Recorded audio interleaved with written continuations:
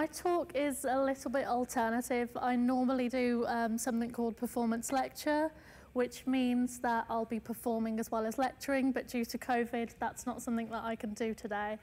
Um, that said, um, I've got some film interspersed with some memes because we're in 2020 and this is our culture, uh, as well as a, a little bit of playful politics and my own artwork. So I'm going to kick us all off with a compilation of videos taken from the Netflix series uh, Master of None.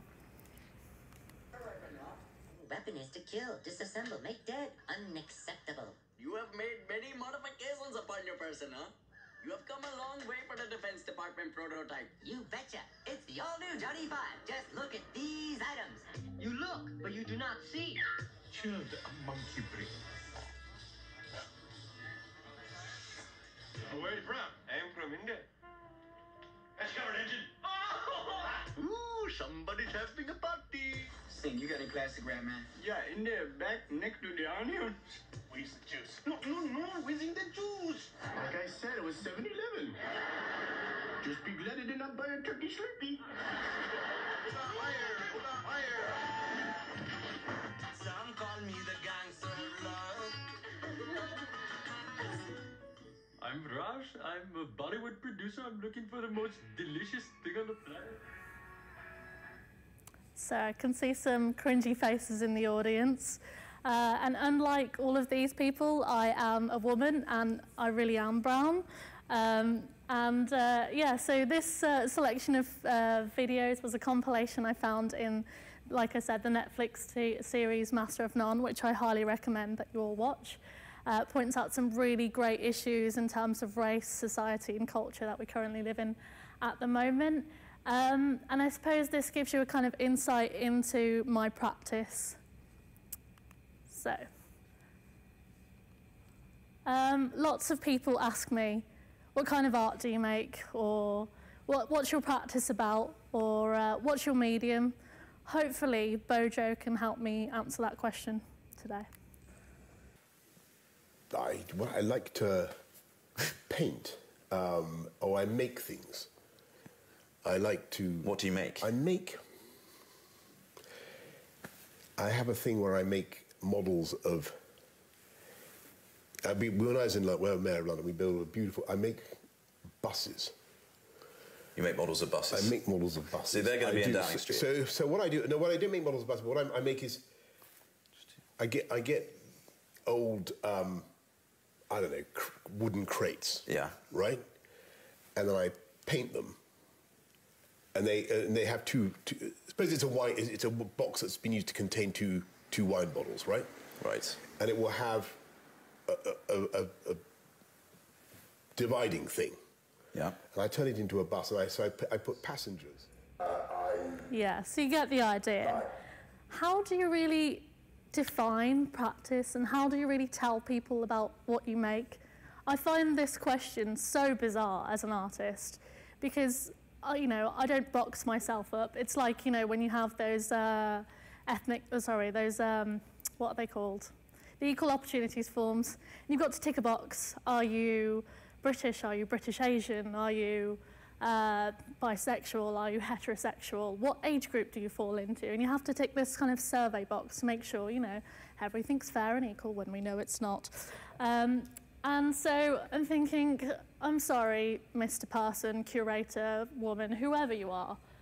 I don't define myself by one thing. I am multiplicitous, and what I mean by multiplicitous, uh, some theory for you now, but uh, Deleuze and Guattari, uh, 20th century theorists, also male, frustrating. Anyway, um, they uh, kind of talk about this idea of multiplicity being all things all at once simultaneously. So it's not binary, it's continuous, it's always growing, like ginger, offshoots here, there, and everywhere. And I spoke with the lovely uh, Julie? Julia, um, earlier on about this idea of going off in all sorts of directions and how that's perfectly acceptable and perfectly normal and pretty standard for arts practice. And if someone was to ask me what's your arts practice about, I'd say something like ginger. Yeah, because that's how random it can be. Uh, this is a lovely iStock image because uh, copyright. um, of um, an Asian woman sweeping in India, and she's got there a jaru, which basically means broom. Um, and jarus in India are made from lots of kind of like combined materials, so they could be like coconut leaf uh, husks, or um, we've got some reeds over here, and there's a really nice, beautiful craft tradition. So whilst this might be a broom to the average person in India, it's craft for me. Um, and so that might give you a small insight. But then when I look at this image, I think uh, of kind of like my identity.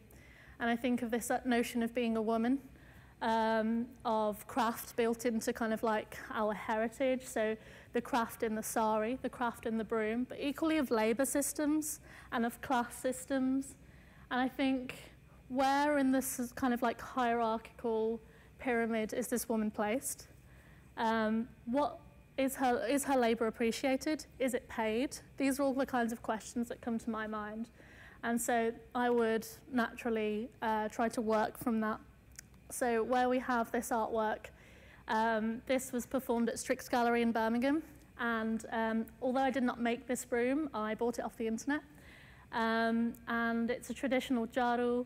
And I'm sweeping uh, the gallery um, and thinking about those value systems and those labour systems, much like artists such as Merle Ukeles Laderman. Has anyone heard of Merle?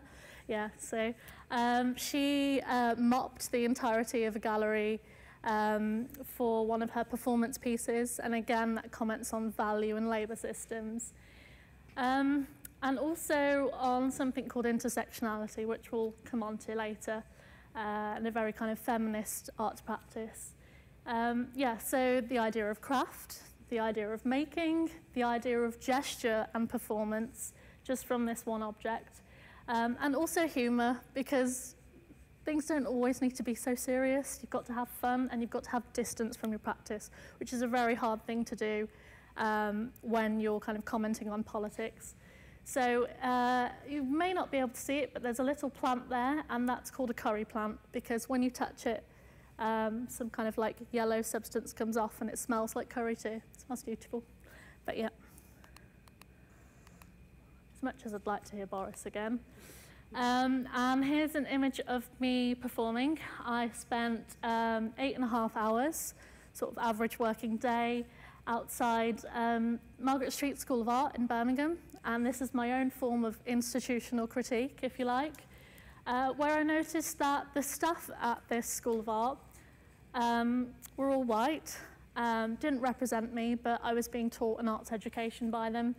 And when I looked for people who shared similar experiences as me, um, they were unfortunately the black cleaners, which is a kind of, you know, it it's very much speaks of the time that we live in at the moment, which hasn't changed for the last 40 to 50 years. Um, and that kind of racial, systematic racial, racial prejudice is still very prevalent in those kinds of systems. And you'll find that this exists in a lot of institutions. And I wanted to comment on that. So I spent eight and a half hours sweeping the steps of the School of Art. I had both the public and members of the School of Art um, tell me that I missed a spot. Uh, when can you come back and do my house? Um, why are you sweeping with that old thing? Um, even up until the Dean of the School of Art, who said um, that he would love to see the video of it sometime. Um, so it was a very politically uh, kind of driven piece. Um, and it raised many questions for me in my arts practice at the time.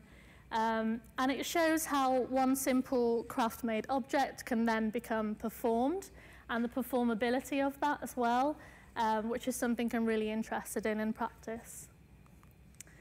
Um, so for those of you who don't know anything about performance art, neither do I. I mean, I've got quite an extensive art history background, but performance art is something that none of us really claim as something that, you know, we're kind of like the pioneers of or anything like that. Um, it's just as like, you know, significant as paint. When you're practicing with paint, the idea isn't to become the best painter there is in the world. It's to play and really experiment with materials, really get a feel of them, and try and work them to your advantage to get what you want from the material. And that's the way I see performance as a material for me to practice with, to play with, and to try new ideas. So yeah, I just enjoy it. Unlike him, he's not having a great time. Uh, although my cat would love this. Anyway. Um, and the next piece I'm going to talk to you about, again, comments on labour systems. So um, you might have seen from the poster that Leanne has made, very kindly, um, of the, the, the, idea of a tea bike or uh, kind of in Western terms, chai. It's actually called cha. But uh, anyway, um, I've also heard the notion chai tea, which basically is just tea tea. Um, yeah, it doesn't make any sense. Um, just saying. Uh, and so, um, again, I'm thinking about labour systems and class systems. Um, and uh, so these Jawale go around um, in various parts of India, whether that's the village, whether that's the city, and they sell tea uh, to the public. Um, uh, yeah, so kind of riding around selling tea, and I was thinking about this idea and what that would mean in the city, and so I did the same. But instead, I gifted the tea um, to various people in and around the city. So I rode from the School of Art, round the art gallery, um, through Pigeon Park, through Colmore Row and the financial district. That was not fun. Um, and yeah, just up and down Birmingham. And I shouted, Ja, Ja, Ja Bilo. That means come and have some tea with me. And um, I gave tea to lots of homeless, which was a really lovely, nice experience. Um, just passers by. One businessman stopped for a cuppa. And um, we shared discourse around race, again, and gender and social class, and the origins of tea and the stories of tea, um, and where the tea came from, but equally about my special recipe and spiced blend mix. Um, and this is me, you know, encouraging people to come and drink tea with me. And it wasn't the performance that was the artwork here. Neither was it this elaborate installation, neither was it the tea. The artwork for me was the discourse that I had with all of these people. So we, you know, we shared a lot of information together and it wasn't about um, me as a facilitator taking the stage or the platform. It was about me learning just as much as them. So learning from their stories, learning about their cultures and their heritage. And I find the one thing that's really important in my arts practice is this idea of creating space, and that's a metaphysical concept of space. Um, so room to grow, room to share, room to enjoy with one another, um, a collaborative arts practice with participants and other artists. And uh, this gentleman on the left gave me a £20 note, which was very nice. Um, and I'll just alert you to this um, little statue at the front, which is a statue of Guru Nanak, who turned 551 the other week. Um, and Guru Nanak is um, a Sikh guru, the oldest Sikh guru, and he taught us what it meant to, um, to share langar. Langar is the idea of gifting and sharing food, um, which is a prevalent part of Sikh culture. and so he blessed us on this day, and we were able to share three cups of tea with the public. Now I'm going to tell you how to make a proper cup of tea with my wonderful Gujarati friend Hetain Patel. To my kitchen. Uh, today we're going to be showing you how to make a proper cup of tea. Now ideally we would have had a proper English person to show us how, but we didn't have the budget for that, so we've got Alan here instead. Now technically he's not from round here, but he were born here and he does make a great cup of tea.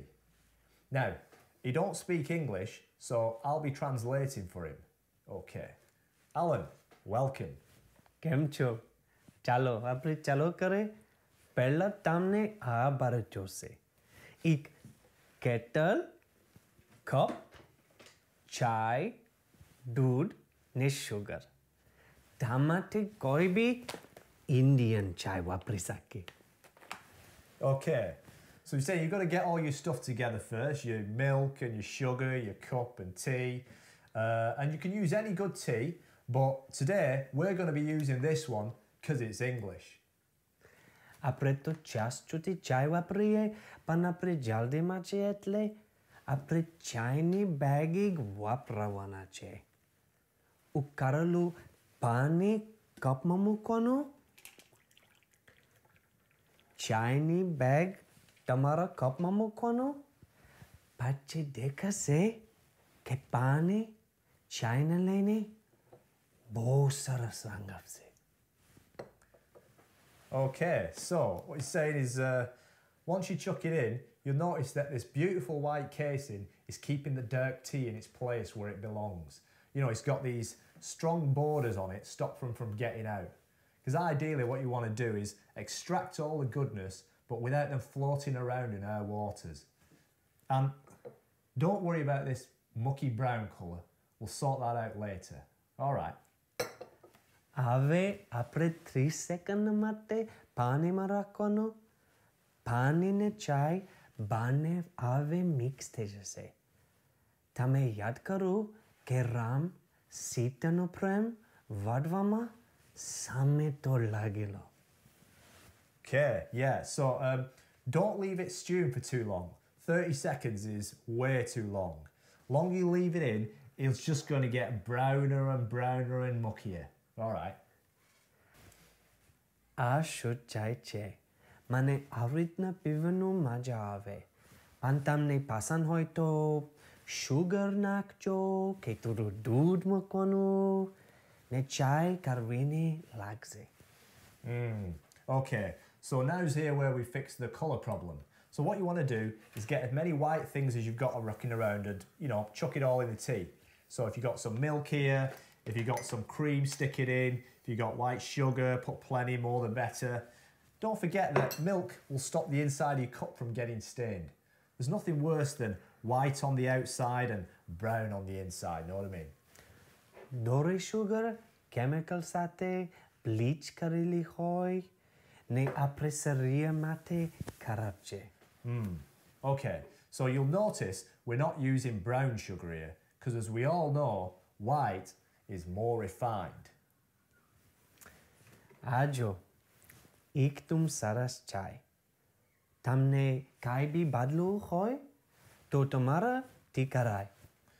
Okay, so here we've got a nice cup of tea. Now, it's still a little too dark for my liking, but mistakes can happen in live demos like this. But thankfully, we have got a perfect cup of tea that we made earlier. And there you go. So, thanks a lot for watching. If you found that useful, don't forget to hit the like button. And subscribe. Uh, I'm actually not sure what that means, but uh, don't forget to subscribe if you want more videos. Okay, thanks. Bye. So that might be a bit cringy for a lot of you, but for me, that's satire on so many levels. Um, and I think it's because of the language element there going on as well. So it's quite absurd as well because we're seeing this Yorkshire lad speaking Gujarati. And although I don't speak Gujarati, I understand certain elements of it. Um, and he was saying the exact opposite of Hetain's translation. So, uh, very funny piece. But um, yeah, satire is very important, and we should always use that to our advantage. Um, so, I'm going to talk to you a little bit. Oh, well, who knows what intersectionalism is? Anyone want to give us an? Uh, uh, go on, Leanne. Go and give us a. Oh, right. go on, John. Well, it's a, it's a term that was brought up by black feminists uh, to talk about the difference between hierarchies of oppression. So if you're a black person or a black woman and relative to other identities, how those, um, there's a relative to each other. So it's about hierarchies Yeah. of oppression. And I can't remember the person who coined it. Literally was the question of an intersection where the likelihood of being subject to violence or a car crash or so your, the degree of your, the likelihood of you being subject to social violence or social oppression has to do with the degree of intersection between the different identities that you're part of.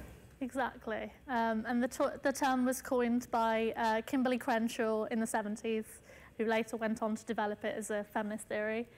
Um, so when I think about intersectionalism within, within the arts, I wonder, firstly, uh, is there no room for me in certain institutions because I'm a woman? Or is there no room for me in certain institutions because of my cultural background? And that's essentially uh, something that I continue to critique within my practice. And here's a nice little meme. Um, yeah, so essentially I am Fry from Futurama. Um, and I'm just trying to work out whether it's sexist or racist or both. Who knows? Um, so yeah, so thinking about Hetain Patel's performance, this started to make me think about my own performance, um, and I think about uh, like Indian cooking channels, or perhaps, um, God, why can't I think of her name? Sexy TV chef, boobs, loves food, Nigella, the wonderful Nige. Um, and her kind of role uh, in her cookery programs, but also the, the cookery programs that I grew up watching with my mom, which had this kind of like 1990s Indian chef who was all about kind of like the spices and herbs. And yeah, of course, he was a man. Anyway, um, so um, I did my own YouTube channel and I taught people how to make aloo wale paratha, which are basically uh, potato stuffed flatbreads um, and just thinking about the way in which Hetain also uses public platforms. So we think about socially engaged art practice, and we think, right, okay, uh, we need to be out in the public realm, we need to be performing in public with people. You know, we've got YouTube, we've got screens, uh, we've got like all these different outlets for entertainment, and uh, I see YouTube as a socially engaged platform for us to create socially engaged artworks and performances that face the public, but face the public on a wider scale. Uh, unfortunately, it's on the internet, so if you do mess up, it's kind of stuck there. Um, that's the only downside. Um, but yeah, so thinking about that performability and who the public is and who our audiences are can work in so many different ways. Um, and I think as a contemporary artist, these are the kinds of things that we need to be thinking about more, especially in times like the pandemic where our resources to people and to real life situations is so skewed. And there's so many opportunities lying around in the internet that we really must take advantage of. Um, this is another piece of um, that I did earlier on last year. Um, as well as using the digital world, I'm really interested in sort of tax, uh, tactile objects and things that I've made with my hands and a craft practice. So being able to be a multiplicitous uh, person culturally, but being able to be a multiplicitous person um, who uses a variety of mediums and a variety of materials in which to express myself. So um, wood turned on a traditional lathe, and this um, rolling pin, which is also called a velna, um, is actually 1.2 meters in length. And the idea of it is actually, again, collaboration. So uh, growing up um, in my household, uh, my mom would be cooking roti and she would be doing that on her own. So traditionally in most South Asian households, the roti maker is the last person to sit at the dining table and to eat their dinner because they are the kind of uh, the chef of the house, if you like, and those rotis need to be fresh and risen and nice and crispy and beautiful. So they make that sacrifice and they cook on their own. This piece is kind of um, around uh, the idea of collaboration in roti making. So the reason it was designed and made so big was that you could have two roti makers who would work together in unison um, there's also some humour in it, and I'm yet to perform and to find someone worthy of making those rotis with me. Um, and to have that collaborative act of rolling out those rotis and making them together so that when the last person to come and eat is uh, on the table, they've got someone to eat with. So there's something nice in that, there's something humorous in that, but equally it's kind of commenting on the traditional um, ideas surrounding craft and craftsmanship and all those lost skills that we have. Um, again, another collection of crafted brooms, some found, some bought, some gifted, and some made. Um, and the position I took with this body of work uh, called Sweep um, was the idea of unity throughout culture. So we've got um, a traditional English broom, uh, a Filipino broom, a Chinese broom, a Dutch broom, the Indian jaru, a Romanian broom, I believe that's another Spanish broom. Um, and then we've got a British kind of sweeping brush. But the, the idea that of these brooms and something that I really enjoyed about looking at these crafted objects was that they all had individual purposes. So the Dutch broom, uh, fourth from the end over this side, was actually to sweep out corners in steps. I found that very cute. Um, and again, it's uh, thinking about those labour systems that we have as women, as working class, and how we kind of lose the, I don't know, the romance in those things because of the idea of that type of work. Um, but equally, it's about bringing together so many cultures and finding the, the element of unity and what brings those cultures together and that kind of like underlying th thread that, bring, that ties them all together. Um, these were shown at Ikon Gallery in Birmingham um, alongside a bed and lots of kitchen objects that I had made. And here's another shot.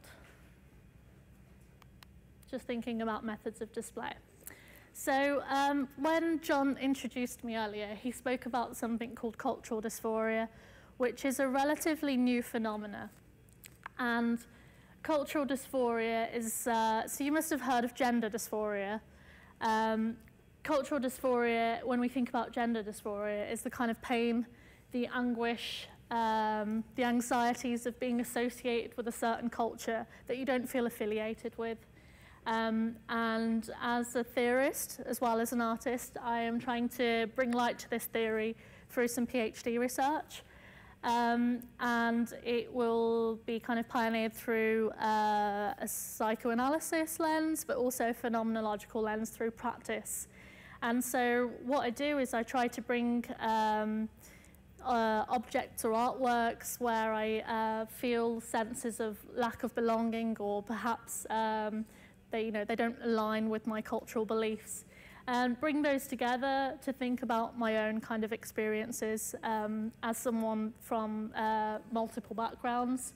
Um, and during the 90s, there was a massive uh, movement uh, called the Black Arts Group, um, which was also contributed to um, by a lot of South Asian artists, so the likes of Permindar Kaur, uh, the likes of Sutapa Biswas, and various others um, which you can all go away and research because I'm sure you're dying to know who they are.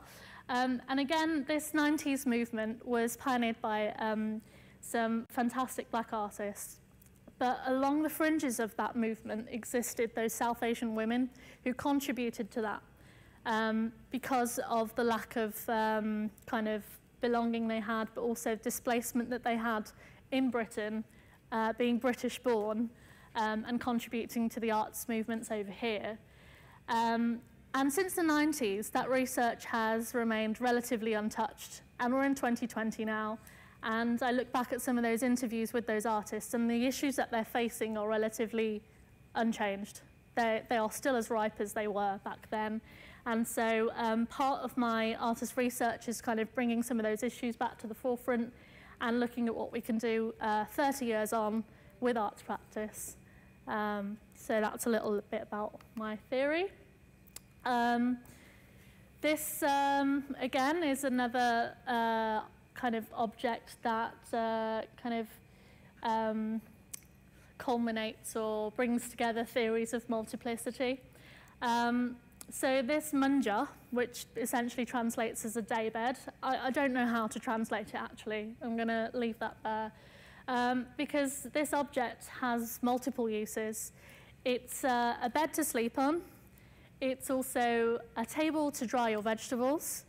Um, it is uh, somewhere where my great grandma used to dry her clothes and where all the key decisions in the village were made. And this object is key to most Punjabi households in India. So when I think of it, I think about my childhood. I think about various different notions of home, of belonging, of waking up in the morning or lying in the sun. I used to have a little black Labrador and I used to lie him on my belly and grab my grandma's scarves and lie them on top and we used to lie in the sun and it was a glorious thing. Um, and so I really wanted to make one and I did. Anyway, uh, the multiplicity of this object was something that I initially began thinking about, but with performance at the core of my practice, not trying to box myself, um, I started to think about the performability of this object and the narratives that it held. Um, and so I, uh, well, this one happened by chance. So um, these two gentlemen were the fire marshals um, at a set of apartments in Edgbaston. They were employed because this building built five years ago actually has the same cladding in it that Grenfell Tower had. Um, so they're unfortunately on a night watch there. Um, and uh, whilst that is a story in and of itself, I lived there for a short while this year and um, the fire marshals were passing as I was building this object on my front drive and then began talking to me about an exact same object that their grandparents used to build when they were kids and having the exact same purposes. So again, like Sweep, the, um, the group of brooms, it was an idea of connecting with someone from a different culture based on a memory that they shared too.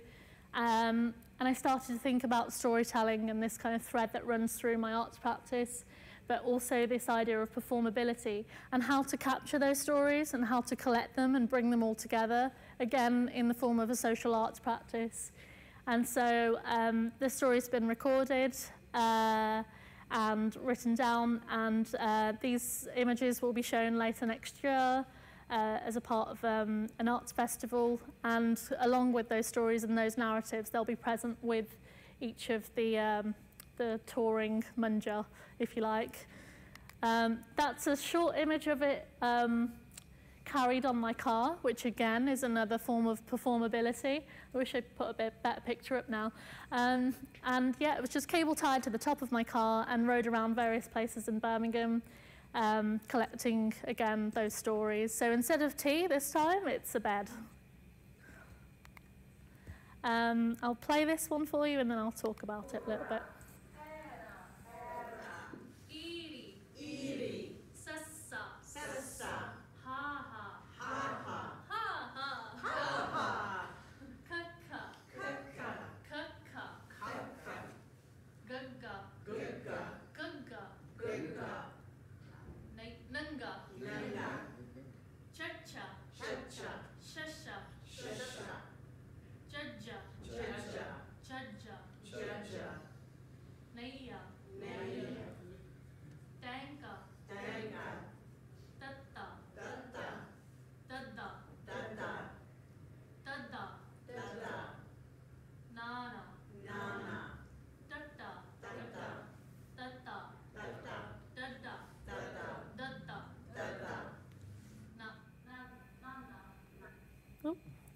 So um, yeah, the reason I wanted to play all of that is because as much as it was a learning process for the audience, it was also my first time learning how to um, speak the Punjabi alphabet.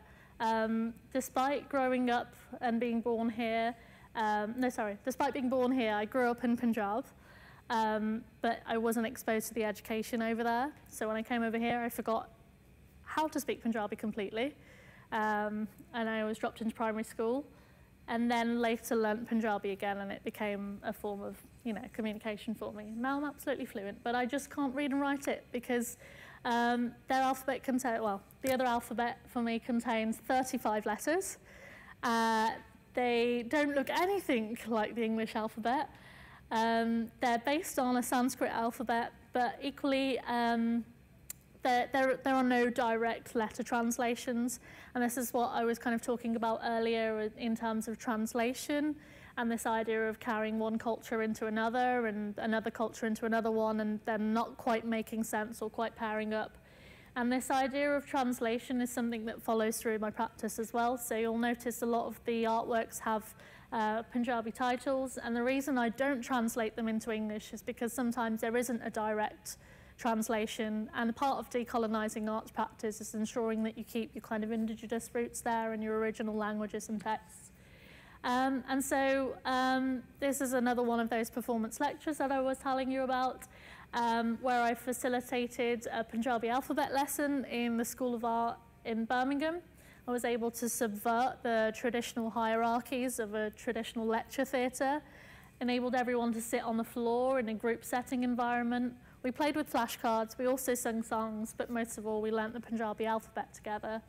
Um, we also learnt how to write our names in Punjabi, which was a really nice gift. Um, this artwork was built of cushions, rugs, exercise books, and flashcards. um, as well as an iPad presentation. And it's just another form of kind of like pedagogical um, outputs and also performance. Um, so yeah, you must be able to tell now I quite like changing my role. I've worked in supermarkets, I work as a, a fine art lecturer, I work as um, in an art gallery, I also, you know, make and exhibit artworks, but I like to tell stories and fulfill all sorts of different career aspirations through residencies. So um, I did an online residency last year, sorry, this year, God. Yeah, that's telling, isn't it? Um, yeah, um, where I read out stories, famous children's stories, uh, very renowned uh, children's stories. You can probably tell what that one is. Anyone? Cat in the Hat, yeah. So uh, Philip Nel wrote a fantastic book called Was the Cat in the Hat Black?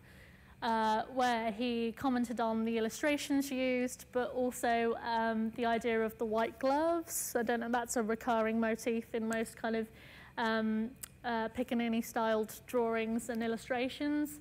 Um, and that, so I spent some time telling those stories, but giving them a new lens.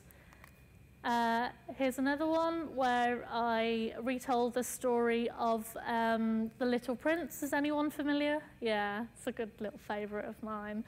Um, and uh, Herman Sultan is um, a literary professor, and he revisited uh, The Little Prince and wrote about everything that Anton de Saint-Exupéry missed, who was the author of this book. And he wrote um, The Little Prince and the Five Planets of Racism. And the planets that uh, the Little Prince in this series visited was the planet of the historian, the planet of the scientist, the planet of the philosopher, the planet of the politician and the planet of the economist. So you can imagine what kinds of tales unfold. But it was really beautifully written uh, in the exact same style as the book with those kind of like naive illustrations and those naive uh, kind of questioning of, but why? And so um, I acted that out on um, a screen uh, for a residency. Um, and again, that was another form of uh, facilitating discourse in the public realm. Um, this is another work of mine, which is called The Anthropology of the Self, um, inspired by uh, kind of that idea of storytelling, but a very introverted work. This uh, work I'm showing you because um, it led to me winning the Tate Liverpool Award, a bit of self-promotion there, it's not illegal. Um, uh, so I'm just going to play a short, short snippet from it and allow you to enjoy that you'll hear a very silent, echoey sound in the back.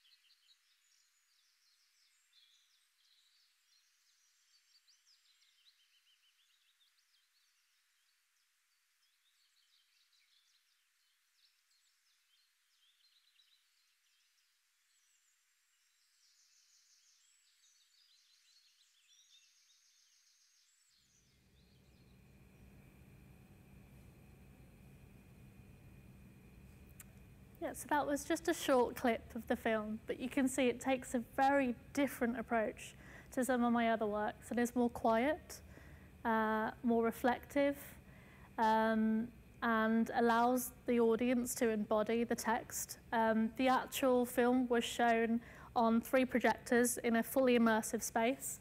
So when viewers enter the space, they are met with only the projectors um, and the text and various scenes and imagery.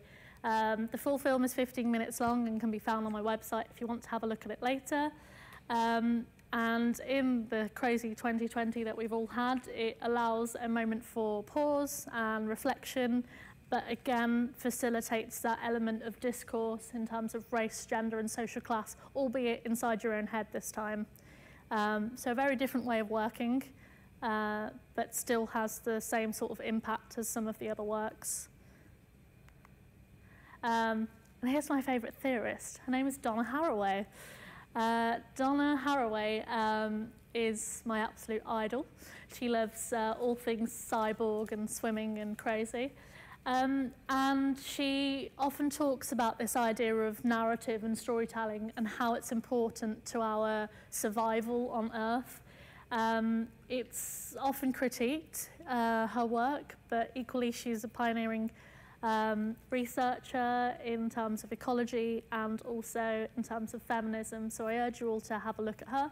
She inspires my work around staying with ideas of the trouble, um, which is also one of her books, um, but equally um, thinking about alternative ways to tell story or to facilitate story in order for social change. And I'm not being naive, I don't think I'm going to change the world, but uh, you know, to elicit some change is something.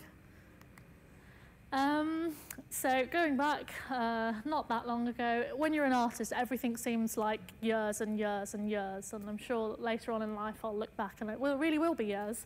Um, uh, but this seems like a lifetime ago. Um, another form of social practice, uh, which Luke and I were talking about earlier. Luke uh, very nicely visited. Um, and this was held at STRYX Gallery. It was um, originally intended to be a game swap between artist Fred Hubble and I. And um, Fred and I spoke about um, uh, cultural appropriation, and it's a really sticky subject. And we thought about uh, ways to kind of counteract cultural appropriation, but equally ways of sharing and exchanging culture that doesn't become problematic. So this game that we played here is called Pittu, which I played as a kid in Punjab and contains seven stones and some tennis balls. And Fred said, okay, well, if you're going to teach me how to play Pittu, then I want to teach you a game. And we spoke about all the different games that he could teach me. But being somewhat British myself, I didn't understand the point in that. So then we really reflected and went back to the drawing board and then realised the importance again in creating space. And so not only did this become um, a lesson for him on how to play the game, but also allowed me to have space as a woman of colour to share heritage and stories and to facilitate that discourse for Fred. So instead of exchanging the game, we just left it as one simple transaction. And in return, I was met with empathy, morality, encouragement, and those are the things that are needed when being gifted an aspect of someone's culture. Also, we'd like to think. Um, and so we tore down the white cube space, um, filled it with sand, brought a couple of rocks and tennis balls in, and invited people to come and learn and play the game, um, allowing audiences to participate within the artwork. Uh, alongside um, throwing tennis balls at each other, we also hand-bound um, a collection of childhood games. Um, so uh, alongside the rules of our own game, we collected stories. We've got stories from Somalia, Germany, uh, Pakistan, um, some from the UAE, um, all over the world, Romania, you name it. Uh, there's about 14, 15 stories in there altogether, and they're all like childhood games. We kept them in their original languages, but we also included translations so that um, there was an element of accessibility there. Um, and this brought together many audiences because I found that I played the game that Bruno played in Portugal, which was marbles, which obviously a lot of us associate with. And there's often this kind of element of, well, that's from my culture, or that's from my culture. And whilst that is problematic to assume that something is being stolen, uh, which it often is, um, it's also nice to think about the connections that we also have with one another. And children are very innocent. Um, there's this really nice kind of um, beautiful element of me being able to share something that I did whilst Leanne might have done something as a kid as well. Um, and loads of us have these like tiny stories which connect to each other. Um, so again, thinking about unity as well as difference. Um, and future work, this game is called Pachisi. It's a sewn mat, um, also known as Ludo. Many of you probably play the game Frustration, getting all your counters home. Um, this work is currently being built into a large mat so that it can be played by many audiences in an immersive gallery space again. Um, and giant uh, plastic counters um, so that uh, audience members can physically move around the artwork and play with it in that sense. Um, and it's a work being developed for 2022, so it's a little bit future in there. Um, and again, it's the idea of coming together through gameplay and community, community and collaboration. Um, and I think I'm getting to the end of my talk, so I kind of want to leave you on a little note, which is don't box yourselves up. Make any work you want. You can be a printmaker, a painter, a performer, a filmmaker, all of these things all at once play, have fun, you're all at uni, this is the best time to play before someone writes up a review and all of a sudden you're only a painter. Try everything, because it's time, the best time to play. Thank you.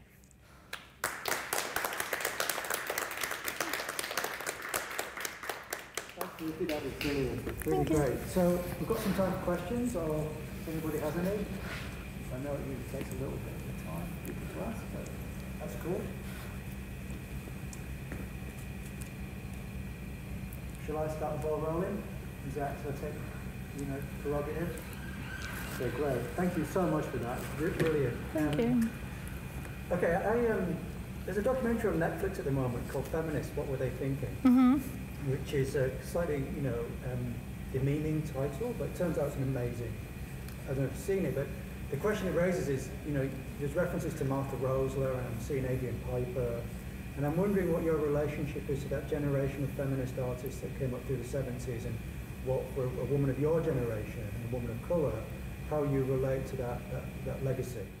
I think there's an element of relation, but it's also foolish to think that the experiences are going to be identical. Uh, coming from an intersectional perspective, there are elements of culture that will naturally uh, change the way that I think about those artists, but equally, uh, without giving too much godlike presence to those artists, they did pave a way in society for that conversation to arise and to begin.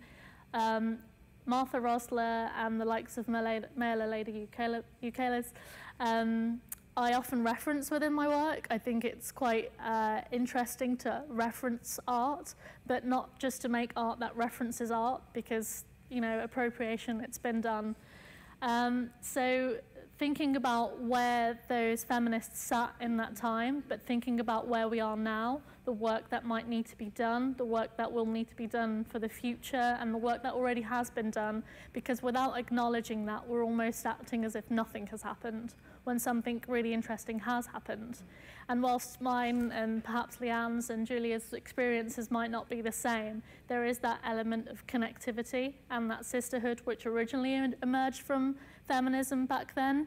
And I know that a lot of cultures now uh, kind of um, pit women against each other in this competition to be who can be the strongest or who can be the most successful when it kind of goes against the original feminist beliefs. So they are very inspiring. I often reflect on the work of Adrian Piper even today. Um, and some of the work that she has done uh, back in the 70s is still very prominent and still very kind of like uh, high, uh, highly important today, so they shouldn't be forgotten. Hello. Hi, okay. Um, thank you. That was really informative and really enjoyable. Thank you. Um, this kind of word, play, keeps kind of coming back into the talk at various different points and in different kind of contexts. And um, I kind of wondered if you might just kind of talk a little bit about how the notion of like playing kind of comes into your kind of creative process. Um, in as much as that how, if you kind of if you have an initial idea, how that might kind of develop into a resolved piece of work and kind of where playing sits. I think um, a lot of people might argue that work is never resolved. Um, and I know that's a really annoying thing to say, but I too am of that belief. So I, I reflect back on so many of my previous artworks and I think about how I can develop them further or where they can be pushed next. Because when a piece of work dies, it, there's often nothing left to do with it and it just kind of becomes nothing. Um, so I think the success in a piece of artwork is being able to play with it for years and years to come. And it kind of really stands the test of time, both for the artist and for the audience. Play works for me on many levels. So it works in terms of process, but it also works in terms of output. So how much uh, involvement I have with play at the start or in between the journey, but equally once the artwork is made, who will play with it next or how will they interact with it. Traditionally, art has been seen on walls uh, or in forms of sculpture and it, or, you know, we've got film, we've got moving image now, we have all these technologies. Um, the artist is expected to sit, view, watch, interact with it, but they're never really touching, sharing, talking about it with someone else unless it's in a review or a conversation. And so for me as an artist, I think it's really important that the audience has that element as well, where they can be part of the artwork and understand some of the processes that the artist has. Previously, in like previous generations, there has been this kind of like mystique of the so-called artist. I really believe in breaking down that barrier of the mystique where, you know, such and such is sitting there with a suit on and no one knows what his work is about or how to engage, but they pass comment and, you know, hmm, very nice, whatever. Um, you know, that kind of generation is very much gone, been and gone. And what is the role of an artist today? It's, you know, some of them make a lot of money and sit in a really like high glass chamber, and some of them are on the ground doing the work with the public.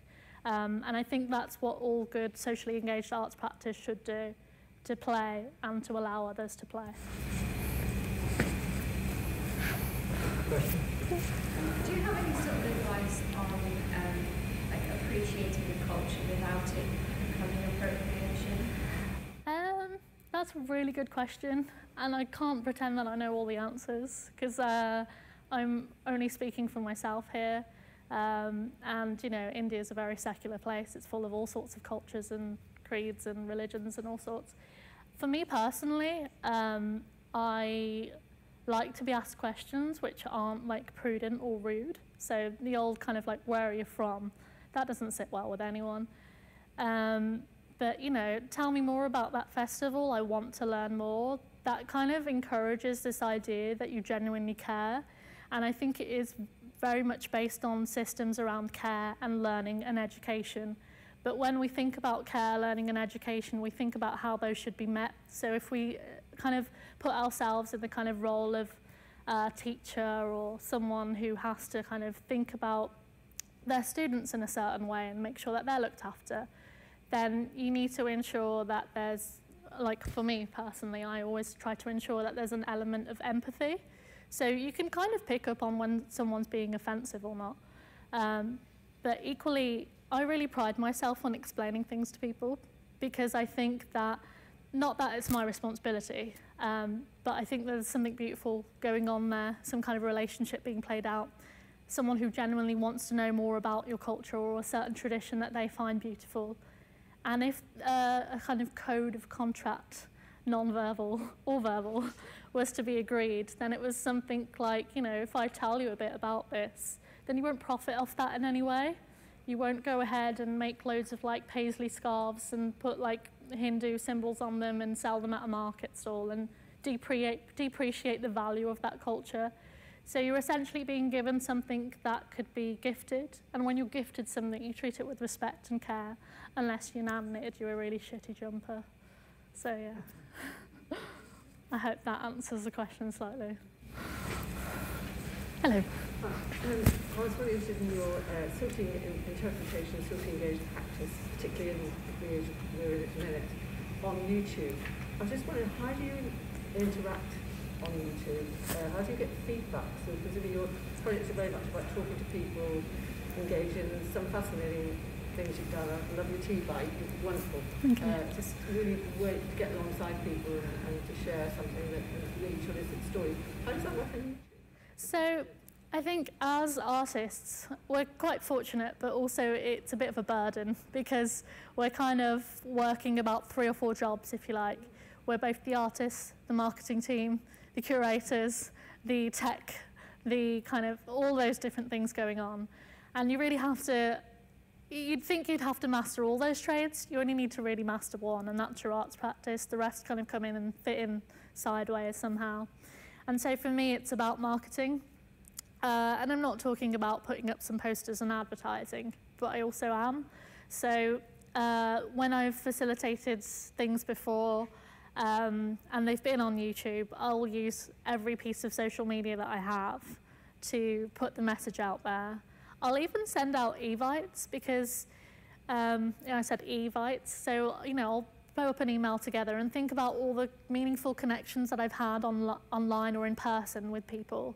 So, for example, I've met a few people at, from my time working at Ikon Gallery, my previous tutors, uh, other artists that I really look up to. Send them an email, um, put in what you're doing on YouTube. And the beauty of YouTube is that they can enter it at any time. So if it was live initially, you know, that's kind of done its job, but equally that link will be there for some time to come. And you can share that, uh, you know, social media is, is a great tool um, to kind of get the message out there and to continue to promote yourself. And we do have to promote ourselves, and the, the business card is almost redundant now, um, especially in COVID, because it's kind of like passing on a disease, I suppose. Um, but, you know, it's just thinking about all these different unique ways that we have um, to make art and to keep sharing that message. And so I'd say market the hell out of it. Uh, don't be afraid if it only gets a few views at the first time round. Um, that video that Hetain Patel did, um, his first few sets of videos, I've had a look at them, they've only had like 30 or 40 views. That one has 4 million or something. I'm just plucking a number out there. It's got a million and something. Um, and so, you know, it's about those kind of tools that you use to market it. Um, the words you use are really important because not only are you prescribing yourself to those words, but they are keywords that will pop up in Google searches and different things like that. So, yeah. Do you have any more um, yeah, Amber, please. Brilliant talk, by the way. I also tuned into your STRYX residency, which was also really great. Thank you. Um, so I wanted to kind of ask how important is accessibility to you in your practice because you can kind of see that from you know outside looking in anyway, but like you use very accessible things in terms of language and the way you engage people and even going to like using you know games from childhood or reading children's stories and reinterpreting them and the language in them. So I'm just interested in what that's. Accessibility is a, a really important, but equally it costs money too. So I thought about the things that I did um, and where I've got a budget, I will allow for, so for example, I did a workshop with STRYX um, and we paid for a BSL interpreter um, and also um, three, I think it was four linguists um, from Polish background, um, from um, uh, an Urdu background. I think it was Punjabi and Czech as well as quite like kind of key spoken languages for the STRYX audience. Um, and we had that translated. Again, that costs money. Um, and, you know, no art is made without having that money there. Um, you know, if you ever want to know anything about funding, you can email me later. But we applied for um, Birmingham City Arts Council funding. And I'll, actually, I'll just, there we go.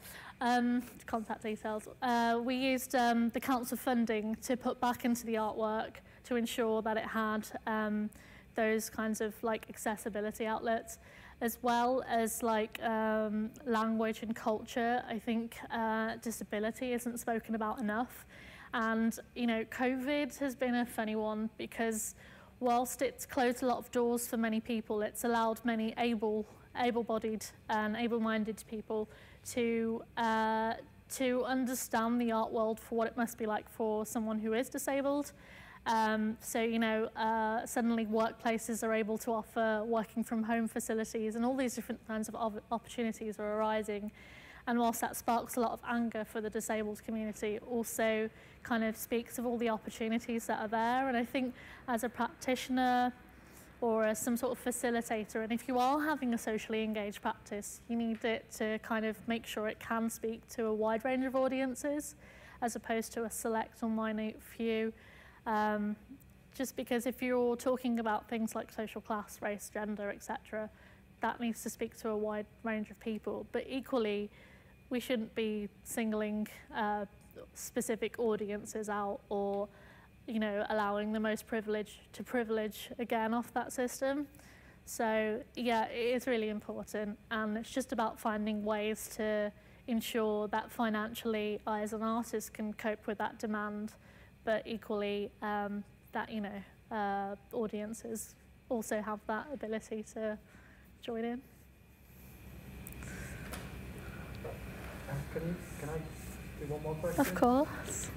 Um, I was very intrigued by your um, interest in multiplicity and that you're speaking kind of somewhat against the box ticking exercises of ethnicity and gender. Mm-hmm. So how can you just say a little bit more about how you understand the tension between multiplicity and identity as a box ticking exercise? So identity as a boxing exercise is something that's very binary. Um, Uh, my identity as well, I'm not Indigenous, but my ancestors were, and you know, so that idea of gender and sexuality and all those things become boxes in which to confine a person. Creativity has like multiple outlets, and I'm just speaking about the art specifically now, or in terms of philosophy and kind of like if we're trying to understand our own sense of being. Boxing ourselves up kind of like reduces things down. And Deleuze and Guattari spoke about multiplicity as this continuity, something which continuously evolves and grows. And when we look at kind of reducing down to boxes, we're only ever moving down. Multiplicity allows us to move up. Um, and so for me, that kind of chimes the most true in terms of my arts practice, the mediums I choose, but my identity too. Um, and whilst I've defined myself as a British Asian, in the box ticking exercise, that's exactly what I am. But if I was to choose my own box, I'd say I was Punjabi because I equally don't agree with all of the politics of India at the moment or ever have done. Um, and whilst I have two passports, both the British and an Indian passport, neither of them speak of who I am as a person. Um, so whilst all of these kind of characteristics in the kind of diversity monitoring form are there and that's sometimes useful for surveys and working things out. Equally, they're very binary, and anything that is binary is always going to reduce in a stop or a zero, and that's the way I see it as a, an artist. Right, thank you. Unless there's any more questions, I think uh, it's been really... Oh, there's one more, say, yeah. Hi. Would you say that uh, your practice is a gentle way of protest? Sorry? Would you say that your practice is a gentle way of protest? That's a really nice way of putting it. I might steal that for later. Yeah, um, definitely. I definitely think back to when I was performing at the School of Art and doing those types of institutional critique, which is a whole kind of art period in itself. Um, the idea of silently sweeping on those stairs is very much a form of protest, but it's not kind of you know, loud or violent or in your face in the kind of like literal sense. Um, so yeah, that's a really nice way of putting it. Thank you. Stealing that. What's your name? Do I need to reference you?